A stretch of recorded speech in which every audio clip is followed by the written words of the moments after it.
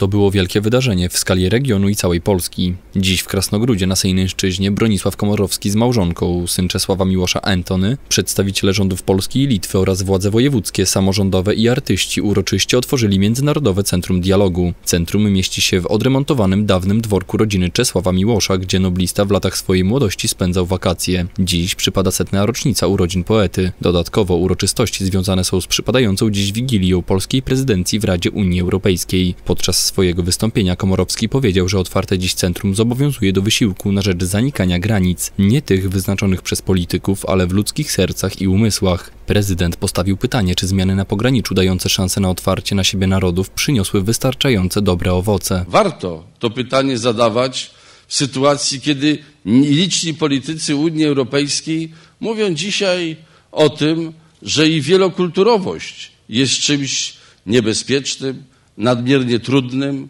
ryzykownym, że otwarcie na wielokulturowość, na funkcjonowanie różnych języków, kultur, różnych religii obok siebie to głównie kłopot, a nie bogactwo. Swoje pytanie powtórzył w kontekście sytuacji mniejszości narodowej. Warto zadawać tutaj, dzisiaj to pytanie, także kiedy pojawiają się głosy traktujące mniejszość narodową z jej prawem do odrębności, z jej prawem do dumy narodowej, z jej prawem do języka własnego, jako kłopot, a nie jako bogactwo różnorodności, wzmacniające potencjał kultury każdego kraju, każdego narodu. W tym samym czasie, 300 metrów dalej na drodze do otwieranego centrum, odbywała się pikieta w obronie praw polskiej mniejszości na Litwie. W akcji uczestniczyło około 30 przedstawicieli różnych organizacji. Mieli transparenty i duże billboardy na przyczepach samochodowych. Język polski w polskich szkołach! Język polski w polskich szkołach!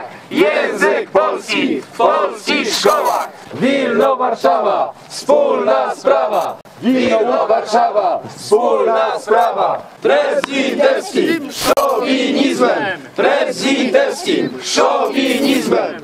Pikietujemy nasze poparcie dla polskiej mniejszości, która walczy o swoje prawa, walczy o zachowanie języka i tradycji polskich. Chcieliśmy przekazać dzisiaj e, panu prezydentowi Komorowskiemu petycję z prośbą o poparcie dla Polaków e, na Litwie, większe niż do tej pory. Chcieliśmy też przekazać przedstawicielom władz litewskich e, dwujęzyczną tablicę drogową z napisem, z napisem Krasnogruda. Ta, napisa, ta tablica jest pewnym symbolem, symbolem polskiej otwartości na wszystkie mniejszości narodowe, w tym wypadku na mniejszość litewską i chcieliśmy dołączyć do tej tablicy życzenia, żeby władze w Wilnie były równie życzliwe i otwarte dla Polaków na Wileńszczyźnie, tak jak władze polskie są otwarte dla litewskiej mniejszości tutaj na Sejneńszczyźnie. Pikietę popierał obecny na otwarciu Janusz Palikot, znany polski polityk. Solidaryzuje się z nimi. Litwa nie respektuje dwustronnych ustaleń, a polscy prezydenci udają, że jest lepiej, mówił. Ale jest jeszcze jedna bardziej smutna dla mnie rzecz niż protest tych ludzi, z którym powtórzę raz jeszcze się solidaryzuję. E, Miłosz powinien być pochowany na Wawelu.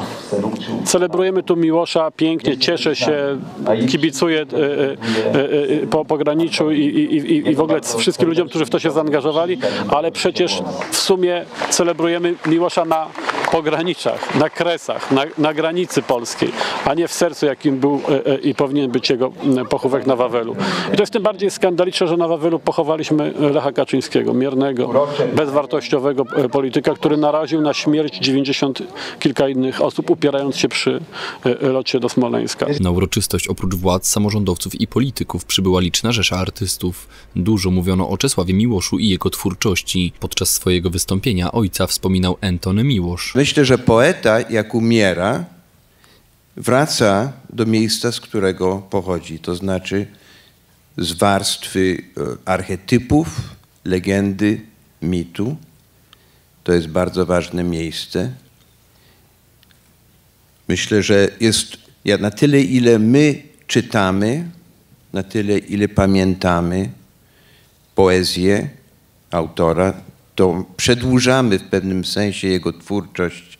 Na uroczystości obecny był także Andrzej Franaszek, autor biografii poety. W chwili inauguracji jego nowej odsłony działania Centrum, Międzynarodowego Centrum Dialogu, no to można powiedzieć, że Miłosz był właśnie takim przedstawicielem innej formacji, formacji ludzi pogranicza, nie utożsamiającej się z żadnym z nacjonalizmów, no w tym wypadku ani nacjonalizmem litewskim, ani polskim, że przebywał na przecięciu różnych wpływów kulturowych, językowych, religijnych, również.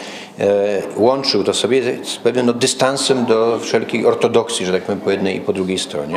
Napisał kiedyś, że jest z siebie dumny, że nigdy nie przyczyniał się do postawienia nienawiści między narodami, że starał się działać na rzecz e, dialogu właśnie. No i to, to rzeczywiście było jemu e, bardzo bliskie, natomiast nie lubił takiej polskości, nazwijmy to endeckiej, bardzo etnicznej. Czesław Miłosz urodził się dokładnie 100 lat temu. Był prawnikiem i dyplomatą, poetą, prozaikiem, eseistą, historykiem literatury, tłumaczem, laureatem wielu nagród, w tym Nagrody Nobla w dziedzinie literatury. W 1951 roku poprosił o azyl polityczny we Francji, skąd przeprowadził się do USA. W PRL oficjalnie uznany za zdrajcę i renegata, został uroczyście potępiony przez Związek Literatów Polskich oraz niektórych autorów. W 1993 roku poeta definitywnie przeprowadził się do Polski. Zmarł w 2004 roku w Krakowie.